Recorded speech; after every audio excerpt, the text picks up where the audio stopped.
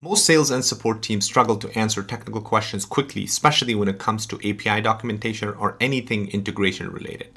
Now, salespeople get stuck in meetings all the time when clients ask them questions about API details. And the reason why I know this is because I've been part of sales teams, and this is a very, very common issue. And then on the other hand, you have support agents that often waste a lot of time digging through documentation just to answer a simple question. So in this video, I'm going to show you how to build an intelligent RAG AI agent using no code code tools like N8N and Vectorize.io that directly connects to your API documentation, stays up to date automatically, and can instantly answer technical questions through Slack so any team can access it on demand. Make sure you stick around till the end of the video because I'm also going to give you this N8N template completely for free. If you're not familiar with these terms, don't worry, but I'm to explain everything. So regardless of your background, you'll be able to build this thing out. This is going to be a super useful AI agent that you can use and sell for real life clients. So that way you can either monetize this or build this for your own business. All right, let's get started. All right, so this is the workflow in N8N. I'm going to show you exactly how to get this for free. So that way you can just follow along. So all you have to do, I'm going to put the link in the description to my free community. Head over to AI Workshop Lite community. All you have to do is go to the classroom section, go to YouTube resources, and the bottom of every page, I have this N8N blueprint that you can download and upload to your uh, N8N workflow. And if you don't have an N8N account, I'll put the link in the description. You can free, uh, create a free account. But if you want to learn how to monetize these and learn how to create more business related workflows, and if you're a complete beginner for N8N, you can check out the paid community. I'm going to put the link in the description as well, where we walk you through the basics of N8N and the step-by-step build so that way you can start uh, building the skills and on top of that most importantly we have a five week day-to-day accountability program where we show you how to monetize your AI agent N8N skills to uh, get in front of clients, how to sell to clients, how to price your services. We also have an AI agency that I run. So all of that information from real life AI agency that we have, we posted on our launch your AI agency with N8N course, where you can literally see how to send contracts, how to price your projects. And again, we will teach you everything as far as your skills so that way you can get up and start uh, applying this and start earning money with it. So make sure you join. I'm going to put the link in the description. Hopefully I'll see you on the inside. But anyways, let's get back to the video. So once you have this, so again, once you download that N8N workflow, all you have to do is go to these three dots and you'll import from file and bring over this uh, workflow right here. So let me show you the way this thing is set up. Right now, this is set up with Slack uh, to reach out to our vectorize.io. Again, I'm going to show you exactly how to build your RAG pipeline right here but this has access to the uh, vectorize.io's documentation, but you can utilize and use any API documentation. And like I said, I'll show you exactly how to build this RAG pipeline so that way you can put any uh, URL and it'll be able to utilize that. But essentially this has an access to this uh, vectorize.io documentation. So let's go ahead and test this thing out. So what I'm going to do is execute the workflow. So now this will be listening to Slack trigger here. By the way, if you have not Slack, installing Slack in N8N is a bit tricky. I also have a step-by-step guide on the paid community if you want to know how to add Slack. I think it's on the beginner's course right here. So make if you're, uh, if you haven't installed Slack on your N8N or if you don't know how to do that, please check that out as well. But anyways, you can, instead of Slack, I mean, you can use something else as well. But right now, so th- what this is doing, this is listening. As you can see, it says waiting for trigger. So now I'm going to pull up my Slack here and I'm going to bring this over. And so I'm directly uh, direct, uh, interacting with this N8N bot. So all I have to do is just say at N8N bot. And now I'm going to ask it a question that says, what is a RAG pipeline? Because this is a very specific question that's going to be inside this vectorize.io documentation. So if I press enter, now this should execute the workflow. There you go. As you can see on the left-hand side, it's executing the workflow there. So now it's going to reach out to uh, the API documentation for Vectorize.io. And there you go. Now I get a response for that particular question and reply to that question inside Slack, which is very important, right? Because you don't want to, uh, you know, clutter your Slack channel. You want to be able to respond to a specific questions in a reply. So let me expand this a little bit so you can see it. All right, there you go. So now it says a RAG pipeline is uh, in Vectorize enables fast real-time retrieval by converting unstructured data like PDFs or docs into vector embeddings stored in database. So as you can see, it also provides the actual link to the API documentation where you can see exactly where it got this information from. And this is super important, especially when you're interacting with API documentation. Uh, if you're, if you're a salesperson or somebody who's working in that environment or a support agent, you want to actually understand where this answer came from so you can double check, right? That's a great thing about this. So that's how essentially it works. And if I go back here, you can see everything worked out fine here. All right, so now let's go ahead and take a look at how this thing worked. But before that, let's go ahead and build our uh, RAG pipeline. So what I'm going to do is I'm going to head out to head on to uh, vectorize.io. Again, they give you a really good free account, so make sure you join that. I'm going to put the link in the description. So I'm going to go to RAG pipelines and I'm going to delete this so that way I can start again. So let me delete this. Okay, there you go. So now I'm going to click on new RAG pipeline. All right, perfect. There you go. So now it's just going to bring this over. It has this beautiful user interface. So you can start by adding your uh, name here. So I'm just going to say Slack n8n, actually, n8n Slack agent. Okay, or whatever you want to name it, that's fine. So the source, this is very important. This is where we need to provide it a source, and there's multiple ways you can provide uh, a source to this. Now, you can either upload documentation, but in this case, since we're going to be using an actual um, API documentation, we're going to use the web crawler right here. So go ahead and click on web crawler here, and here's where now you can add a new container. So this is where you can add uh, the name. So go ahead and do, I'm just going to do vectorize docs test. Okay. And this is where you can put the URL now. Now, obviously for vectorized data, if I do docs, oh my God, I can't type. Docs, there you go, docs.vectorize. So this is the link to docs.vectorize.io. But again, you can put whatever you want and you can see these are the RAG pipelines, different information for each particular URL here, but you can use essentially the same thing. And if you just put the general, the docs.vectorize.io, it's going to be able to grab all of the other uh, pages that are inside. So if I just copy this, go back to my platform here, and if I click on paste, so now if I create a web uh, scroll, we'll, you'll see in the uh, afterwards once we initiate this or deploy this RAG, you'll be able to see that it's going to have access to all of the pages that's inside that particular URL, right? So you're going to leave everything as it is. If you want to add additional uh, URLs, you know, so you can say add one or more allowed URLs or prefixes. So that way it will read that URL um, if you want to. Again, but you don't have to do that if you want. Uh, but this is just an optional thing.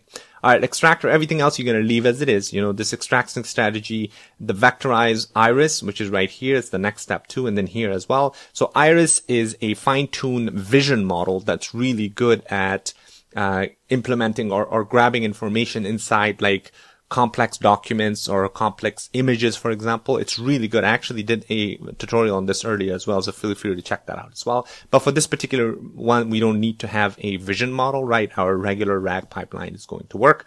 So you're just going to leave it as extraction strategy as fast, which again, it's a simple and fast extractor the chunking strategy, leave it as default, but if you're, if you want to have any specific chunking sizes, you can change it right here, but you're going to leave it as default. Don't worry about enabling metadata extraction through Iris. Like I said, we're not going to need to use the vision model. So we're just going to leave everything as it is.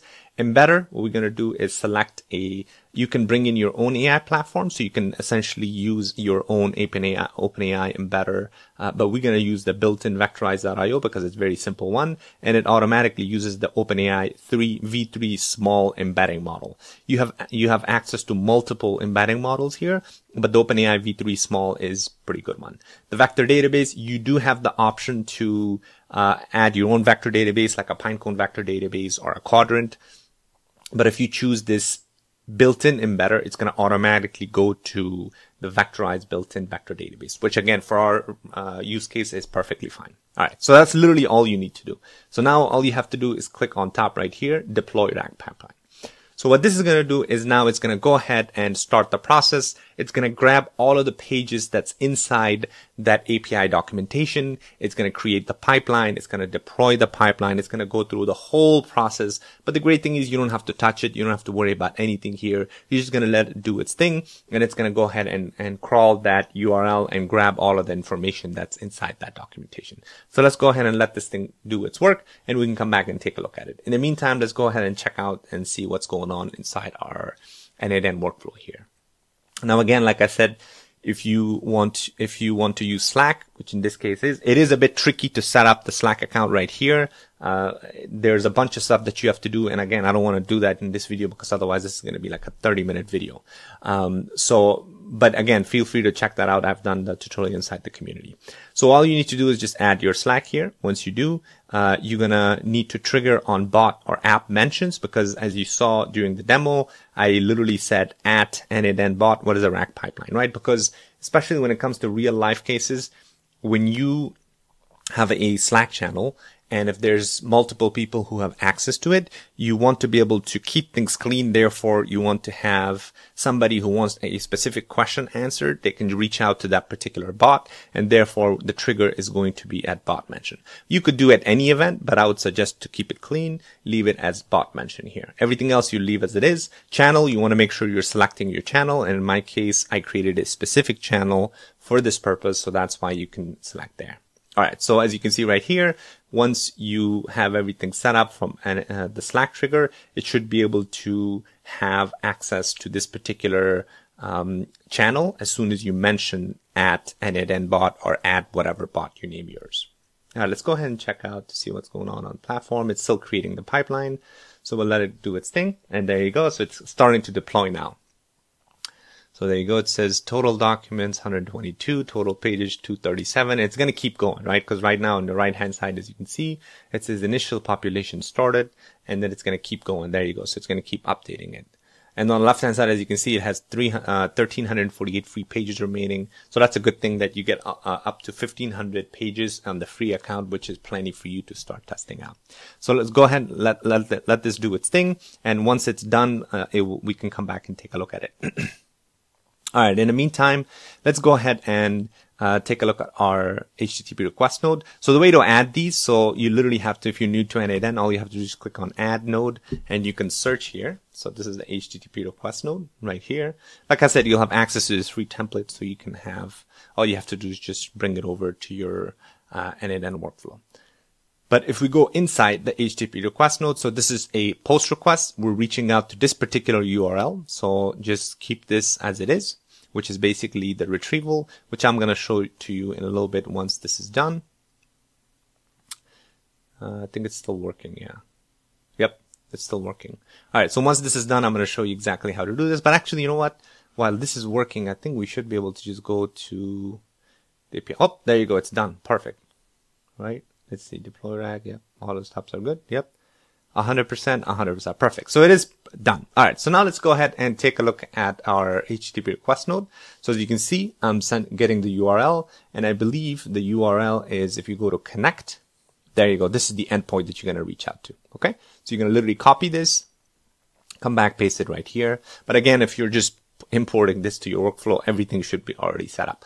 Authentication, we're going to uh, leave as none. We're going to send headers. So click on toggle the n8n headers. The specific headers below, as you can see right here, we're sending uh, authorization and the value is going to be your token. So the way to do that is all you have to do is come here, click on generate token and you can name your token. The great thing is you can select a token that expires within an hour, day, week, month, or year, or you can select never expires. For mine, I'm just going to use, I just use the one hour so that way people don't copy my token there. But okay, so that's good. Now you don't need to do anything else as far as um, authentication. So just make sure you you put your token right here. We can also send a body. It's going to be JSON using JSON below. And if, let me expand this a little bit as you can see, so this is the question because it takes three different parameters, question, num results, and then re-rank. You're going to leave everything as it is. The question is literally going to be the question that's coming in from your Slack. So it's literally this that I dragged and dropped, right? All you have to do is just drag the text that's coming in and that's going to be the question inside, right? Because this is the question we're sending to our n8n bot here. So that's all you need to do. And now we need to send this to our AI agent. So for our AI agent, we need to have a prompt so the prompt is just saying a user asked the following question to our vectorized docspot, right? And that's the question that's coming in from our uh, Slack there, which is, uh, let me minimize this right here, right? So I'm doing the same thing, dra dragging it there. Uh, and then uh, we retrieve the following helpful content to answer this question. Now, this is coming in from your JSON document, right? So this is coming in from right here. We're also stringifying this because we want to make sure that it is a string. Otherwise, it's going to give us a problem. As you can see on the right hand side, it has all of this information that's coming in. So now we're giving it this uh, prompt that says, please generate the helpful, concise response that answers the user's question formatted for Slack, blah, blah, blah. And then we're going to say, keeping it friendly tone, and um, you know additional information to make sure that it's Slack friendly. So that's all you need to do. Um, and we need to obviously add a chat model. And I'm using GPT 4.1 mini. You can use whatever model you want. The simple memory, this is important. So you want to make sure that you're copying, pasting the event TS, which is basically that timestamp. Otherwise your memory is going to throw an error. So once that's done, as you can see right here on the agent, it uh, gives us an output and it gives us that information that a RAG pipeline and Vectorize enables fast, real time, blah, blah, blah, all of that information, right? All right. So the next step is now we need to connect this to our Slack. So once the AI agent outputs the response, which is coming in from our vectorize.io. So what you need to do is same thing, add your Slack account. And this is going to be the resource is going to be a message and the operation is going to be sent. We're going to send this specific information to a channel, specifically to the channel, which is the n8n bot. And if you uh, created a separate channel, make sure you are uh, putting your right channel there. All right, so the message type is going to be simple text message, and the text is literally this that we're grabbing and dragging and dropping right there, right? Uh, the reply message. So this is another important thing because again, we want to make sure that uh, we're replying to that specific message inside uh, this channel right here. So as you can see right here, it says reply. That's why uh, we have to set that up, this reply to message, and you can add the timestamp. And the timestamp, I'm just grabbing it from right here. It says event TS. That's what I dragged right here. Okay. So that's, that's all you need to do. And afterwards, you know, as you can see on the right hand side here, this is the output and on the Slack, this is what it's going to do. So it's going to basically respond to each specific question in a reply thread, which keeps it very simple. And like it gives you that link so that we can have access to that particular uh, information that came from that specific link or that answer that came from that specific link, right? So very, very simple, very easy. And this is extremely useful. Like I said, you can use this and sell this very easily to, uh, you know, especially if it's like a smaller company. A lot of times they struggle, uh, to, you know, reach out, like especially the sales or support teams, they're always struggling to reach out to engineering or product team if they get stuck answering the questions. It's very, very frustrating. So that's why this is such a useful tool because it gives you uh, that direct answer from a spe- specified resource. And the great thing is, uh, if you when you use Vectorize.io on your RAG pipeline, you can actually identify and tell this thing to keep going and updating this information and re-vectorize every, uh, you know, you can have a schedule right here. So right now it's mine, mine's locked because I have this, um, free version. But once you have your uh, pro version, if you if you're building this for actual client, then instead of manual, you can just say it says your pipeline will run until all data is fully synced because it's manual. You can actually set this up so it automatically updates the sync schedule every. As you can see, it has a sync schedule right here every um, 12 hours or every day or every other day or whatever it may be right? So that's what makes it very, very simple because once you set this up, you don't have to worry about constantly updating. It will automatically do all of that. All right. So hopefully that you found that helpful. Again, this is super useful and you can sell something like this very easily to companies uh, because this solves an actual problem. All right. Well, make sure you like and subscribe. And again, uh, if you want to join the community to learn how to uh, sell this to clients or workflows like this and get your first customer, make sure you join the paid community. And if you want to have access to that uh, uh, template and everything else, make sure you uh, take a look at the uh, Lite community inside the YouTube resources in the classroom section. All right. Make sure you like and subscribe. Thanks for watching. I'll see you on the next one.